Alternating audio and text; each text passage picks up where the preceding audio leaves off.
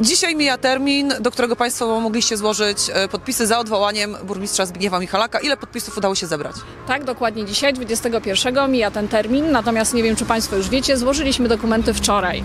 E, Wymagana ilość, która nam była potrzebna, to było 2580, bodajże 5 podpisów, to jest te 10% wymaganych e, podpisów. My zebraliśmy, zazwyczaj tak jest, liczy się te 20% nadwyżki. My zebraliśmy 33% nadwyżki, bez 10 głosów mamy 3,5 tysiąca tych podpisów. Nas to satysfakcjonuje. Generalnie zdecydowaliśmy się na zbieranie podpisów od drzwi do drzwi.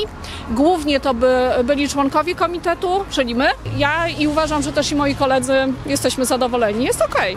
Wie Pan, że dzisiaj zostały złożone podpisy za odwołaniem burmistrza obecnego Zbigniewa Michalaka. Co Pan na to? Tak pytamy mieszkańców, co sądzą. No wie pani, ja nie jestem zainteresowany. No. Zresztą ja tu mało w Strudzie mieszkam, także dla mnie to, wie pani, wszystko jedno. Dobrze, no. Trzeba go odwołać. Nie nadaje się na burmistrza. A dlaczego? Bo nic nie pomagał w Strudzie.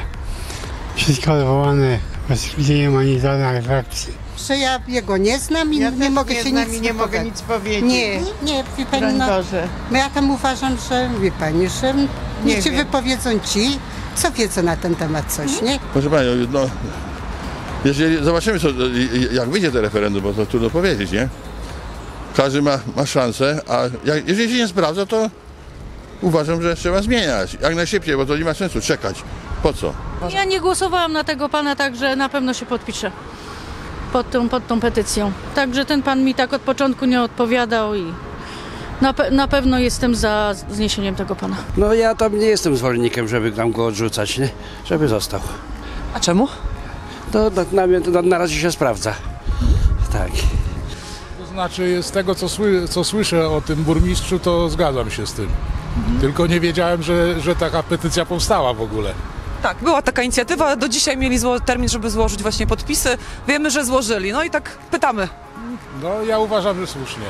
Z tego co słyszałem tak ogólnie wśród ludzi. No ja jestem za.